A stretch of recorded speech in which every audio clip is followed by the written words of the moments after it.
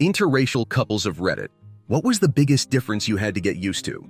I think the fact that we're also a gay couple overshadowed the fact that we're interracial.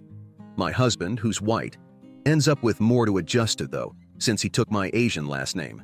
He gets double takes whenever he gets called up for an appointment or something, but that's been the worst of it. No weird looks afterward or anything. We're very lucky in that pretty much everyone we interact with is perfectly fine with same-sex interracial couples. The worst I ever got was one of my daughter's kindergarten classmates asked me why my daughter doesn't look like me. This was just a curious five-year-old, though. Nothing nefarious. I gave a quick explanation of how adoption worked in terms of someone else being the biological parents, and then everyone went about their day. I'm white and married a Latino man. When his family says the party starts at 5 p.m., it actually means they don't even start cooking until like 7 to 8 p.m. If you show up at 5 p.m., you'll just be sitting around not really getting used to, but coming to terms with. I'm not in an interracial relationship anymore. But I'm white and my first two girlfriends were black. Learning my parents were actively trying to get us to break up because of the color of her skin was something I didn't think I'd ever have to deal with, and had to do a hard look at how much I was willing to see my family after that. Low contact as of now. Not wearing shoes in the house. Kicking money upstairs to her family. Celebrating Chinese New Year reunion dinner making rice for practically every meal. Lucky customs. Like one year, we didn't have a lot of money for Christmas gifts, so I wrapped up some practical gifts. I wrapped up some new kitchen shears and culinary knives, and I was scolded because you don't give those kinds of things as gifts because they sever the relationship. Not complaining, it just took getting used to.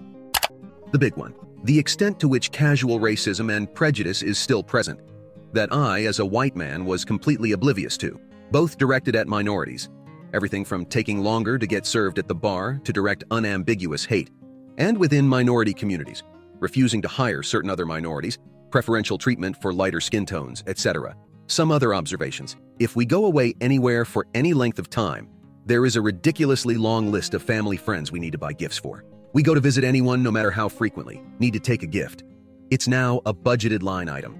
Really, my value as a man is at a first order a function of my career and only my career. Doctor, lawyer, engineer, anything else in that order. It's how I'll be introduced. This is Skuksa, he's an engineer. And then I'm accepted as having certain social standing by default. Big extended community parties, awesome. The men drinking whiskey, whilst the women clean up afterward, is somewhat problematic. My husband is Ashkenazi Jewish. He and his family and Jewish friends seem to enjoy arguing for sport. There were a couple of times where I thought people were in relationship ending arguments over politics, but they were totally fine 15 minutes later. My boyfriend is Guatemalan. I didn't know how deeply Catholic Guatemalans are. I went no contact with his family for over a year because of the way they treated me. His mother called me damaged goods because I wasn't a virgin, which was deeply triggering because I'm a sexual assault survivor. People have a distrust of me because I'm not from their social circle. They also really hate gay people, and one day I went off on his cousin. Apparently, being an outspoken woman is also very frowned upon. Basically, I don't speak Spanish. I'm learning. I'm not wealthy, they are, and my family isn't good enough. It's probably just them, though. The rice. So much rice. Every meal. My boyfriend is Asian. I'm as white as white can be, and other than the rice, we are very similar. But oh my gosh, the rice. I now cook rice measuring with my knuckle. Before him, I cooked rice maybe once a year. Now it's two, four times a week. I've been really lucky to live in several countries, and therefore I've been in relationships with people from diverse backgrounds. I'm American born, mixed race myself. I'm much older than the average Redditor. A few interesting notes. I dated two Koreans in Korea. Sex is less taboo overall than the US, if you're a normal and respectful person. Way too many people trying to fulfill some weird Asian fetish out there. Yet, women have this pressure to act cute, and it's so over the top and dramatic. It's like trying to imitate a television drama. I've dated several Germans. Pros, way fewer pleasantries. Way more just saying what is meant. Cons, way fewer pleasantries. Way more just saying what is meant. I've dated two African Americans. They both had huge energy. And then I met family and everyone brings huge energy. Then I met friends and everyone is raising the energy bar. Exhausting laughing out loud. I have lived quite a unique life and it was boring compared to the normal everyday life in this context. Dated one Irish girl in Ireland. She was probably the funniest person I've ever met. Tight knit family. kinda stereotypical Christian values while not being Christian at all. She was a picky eater. She was from North Dublin and constantly threatened to have me killed. That was interesting. Dated a few Australians, specifically Melbourne, which I'm told are different from the rest of Australia, because I lived there for years. A girl that weighs half as much as me, drinks twice as much as me, wakes up the next day at 8 10 a.m. and plays footy, and comes home and calls the gals over to start drinking again, continues to make out with more girls than I could ever in my life. Then somehow, still wants to go home with me knowing full well I'm only there temporarily. So, yeah, I'm a bit drunk. Sitting in a bar in Malta now and reminiscing on the amazing partners I've had in life. I am finally working on myself and hope to make one a bit more permanent someday. Thanks for reading, random stranger. Always being asked if we want to pay together or separate. Being asked if we're together or not. People assuming we aren't married to each other. I am Asian, he's white. Is that something all couples experience? Educate me, please. I'm Mexican, and my ex is Russian. I thought his mom hated me because when she said goodbye, she meant goodbye and would actually hang up. Quick communication later, I got at least three goodbyes before we got off the phone. Returning items was suddenly so incredibly simple. Never had any pushback, no hassle, nothing. Shopping in stores, I never had so much privacy shopping. I'm really used to that constant, can I help you? Are you finding everything okay? Constantly being spoken to by workers. Now, I got a white girl with me. They just let me shop. Her family's food. I really gotta talk myself up. It's only one time a year, but darn it. I will never get used to different fruits and cranberries being in your macaroni. The undercooked meats and general lack of seasoning is real. Most of my in-laws are really great. And then there's my brother-in-law and his wife.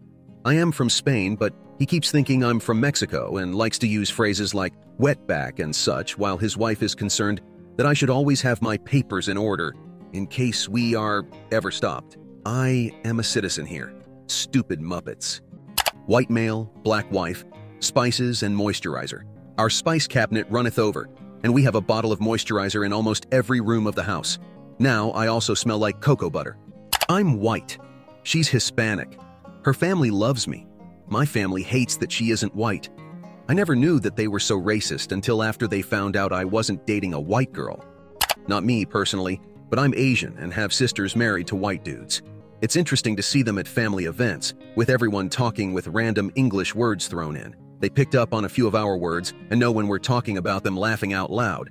What's sad is seeing my mixed nieces and nephews hate on our culture and think our food is weird. They like to deny being part Asian and claim they're 100% white, which annoys me. Her hair needs a lot of maintenance, and she's more sensitive to racial issues and oppression against marginalized groups. Other than that, and my look getting considerably more stylish, no difference. Either one by one's self, practically invisible. Both of us together, suddenly conspicuous. The glances on the street last a couple of seconds longer, and you notice lingering stares. You get told things along the vein of, it's so nice to see the world progress. You're my favorite couple. It's such a nice day to go out with your significant other. Way more than if you went out with someone of the same race or like your opposite gendered cousin, close friend, whatever. Stuff that you're not sure if it is some weird microaggression, an attempt at virtue signaling, or they're just genuinely glad race relations have improved since the 20th century. I kind of miss it. The biggest shock was just how pronounced of a dark bathtub ring she would leave when using my bath just once, using the same bath bomb I would use. It's really a marked difference in lotions and products. I'm South Asian, he's East Asian. There have been a few differences around food once we started living together. He's used to eating meat with every meal, and I grew up vegetarian laughing out loud. So I compromise by making vegetarian meals for a few days every once in a while when I've had enough meat. Also, people somehow get real curious when it's two different people of color getting together. A waitress once literally asked him, in Mandarin, how did he get a girlfriend like me? My husband is black. I'm white. He was shocked at how my long hair found its way everywhere. All over the shower? Check. Randomly around the house? Check. In the crack of his buttocks? Check. He was less than impressed with the last one. With me? That I couldn't run my fingers through his hair in any old direction without messing up his waves. I didn't know it had to be a certain way, and he didn't tell me. He said he liked me rubbing his head too much to tell me I was messing them up. It wasn't until he was rocking a slight afro, and I asked where those pretty lines in his hair went, and he glared at me and was like, You. He wasn't mad at me. He genuinely thought I knew and had just wanted to rub his head that badly. I was so clueless, I didn't even know they were called waves. My ex was Mexican with darker skin and I'm white, and the weirdest thing was how we knew it was normal to be together where we lived. But if we traveled anywhere south, north, or rural, we'd get weird looks and judged. My friend said her grandma from Iowa saw a picture of us and told her to not be friends with me. Yikes. I'm Mexican and my husband is white, so I got used to them doing Christmas on Christmas Day and not Christmas Eve. Nothing crazy, but I was so used to Christmas Eve being the big day. Black woman, with a white husband in the UK. I think the biggest difference was how family is treated. In my culture, I cannot fathom leaving an elderly family member to live alone and fend for themselves, but that seems pretty normal for my husband's family. We talk about it a lot, and he agrees it may seem weird, but is expected. Also, bonus of money. I am of the mindset that if you give someone money, you really don't ask for it back unless it was pre-agreed. As in, if I can afford to buy you something I don't expect something in return. It seems in English culture everyone must pay each other back to the penny and not allow anyone to pay for anything. That's a real culture shock to me. My partner is from California, I'm from Singapore. I think the biggest difference is popular culture. Everything from your childhood television shows, the iconic music of your teens, even your education system is going to be different. You cannot expect your partner to know what Mr. Rogers is or have watched XYZ cartoon. All assumptions have to be thrown out of the window. I think it's a good thing to be honest. You start from zero. It makes you completely aware of how vast the world around you is, and I keep learning new things every day. Just yesterday, I learned that in California, there's a mascot called Smokey Bear that taught kids about forest fires. In turn, I told her about Singa the Courtesy Lion, which is a mascot to teach people courtesy, good manners. We had an entire discussion about mascots and teaching populations, and it was so fascinating. This happens so much that sometimes we can't stop talking to each other. I'm a white dude married to a black woman. I had no idea about the whole culture of hair upkeep for black women, how much it costs, how much time it takes, how much it's a connection point for her and other women. Interestingly, what was a bigger adjustment had nothing to do with race. I'm an only child and she is one of five, so obviously the family dynamics are quite different. Next month, we will be married for 24 years, so I guess it's all good.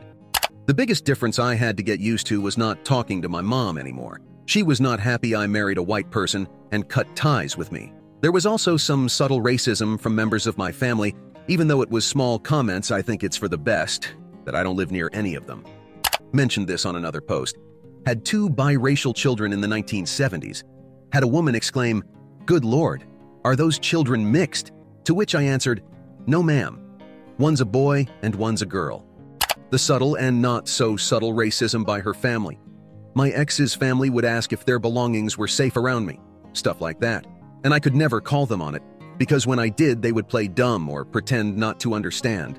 Out of the blue, for no reason, say they were proud to be white, and there is nothing wrong with being white, then give me the hard stare. Nobody would be saying otherwise. Who were they arguing with? Like I would be talking about cooking, but okay, go off. I learned that Korean and Irish families are extremely compatible at a party with alcohol. After visiting, I now believe Korea is the Ireland of Asia. Great first world countries that have a long history of being colonized, bury their feelings with alcohol, and party hard as heck. They also both really value family and talk crap to them constantly. Both love cabbage. My wife's family was always slightly racist, always gave her advice to pursue all her options regularly. The kicker was when I tried to marry her after six years together. We had a full-blown intervention at what was expected to be the lunch of us telling them. Parents, sister, the whole she-bang. They blindsided both me and my wife and insulted me to my face and said they wouldn't support the wedding. Told her we were being ridiculous as I sat there. My wife sat there silently while they grilled me. I've never felt so hurt and vulnerable in my life. I could barely open my mouth to defend myself. I felt so small. We're still together, and I love her, but I feel I lost a part of my self-respect and feeling of safety that day. She lasted a whole one month of no contact with them, but they seem to have learned a bit from the shock. Emphasis on a bit, they still haven't apologized to me. Anyways, thanks for the read, stranger. Edit. Since people keep asking, and I've posted this elsewhere, her family are white living somewhere in North America, my parents are brown immigrants here from Asia. Her parents are atheists. She is an atheist. My parents are Muslim. I'm an atheist. I was born here in the same city as her where we've known each other since age 13. going two decades now. White male here that dated a black woman for a while in my late teens. Overall, it was good for us. Her immediate family liked me. It wasn't until I went to her family reunion that it changed. We were both made aware it was wrong for us to date, even though a couple of guys had white girlfriends and wives. They also got into her little brother's ear. Me and him would play games and all, but after that, he wouldn't speak a word to me. Her parents caught a ton of criticism also for allowing me to date her. Her parents apologized. It wasn't their fault, but they were super hurt and embarrassed. We didn't break up because of that, but it did affect our relationship after. Culturally, Asian men do not talk about their problems or stress. It's a sign of masculinity to just quietly bear it all. So when things get rough, whether inside or outside of the relationship, my husband just becomes really quiet. At first, I thought maybe he's just really focused or motivated at the time. He doesn't express anger at all, but at the same time, he doesn't express anything at all. That's when I know something is up with him. Coming from a half Latino household, we are very loud and expressive, especially when we are stressed out, worried, or angry. The Asian and Latino cultures are so opposite in so many ways, but yet so alike. It's quite a journey being married to an Asian man. I wouldn't have it any other way, to be honest. I think bringing cultures together through love is one of life's greatest things to witness and be a part of. I am white. My estranged family still implies that my Filipino husband is a scammer and is only with me for the money and Canadian citizenship. We have been together for almost 15 years married for 12. You think that if he was only with me for the Canadian citizenship, he would have left me 10 years ago after he became a Canadian citizen. I don't even make a lot of money. He doesn't even make a lot of money. But we are comfortable and extremely happy. There is a reason why I do not speak to my family anymore. An ex was Latina, and while there really weren't any social things that were new, getting used to her family dynamic took some adjusting, because they were very close and involved in each other's lives, so it was normal for the weekend's inevitable barbecue to be something I was expected to be present for if she was going, because otherwise 16 plus people would grill her about me not coming. I was born and raised in the Netherlands. I'm half Italian, half Indonesian, but did not grow up with those cultures at home except a little. My girlfriend is Persian. In the Netherlands, or at least in my experience, when people say no to something, then they mean no. While apparently, for Persians, it's seen as polite to decline at least the first offer, often also the second even if you actually really want. So for example, if she would offer me a cookie and I'd say no, she would ask another three times before letting it go, which was cute, but also annoying. Meanwhile, when I offer her a cookie and she says no, I just quit asking, and then she gets a little mad that I didn't ask her a couple of times more. It's not like the biggest difference or anything, but it's a cute, and in the beginning, a very confusing difference.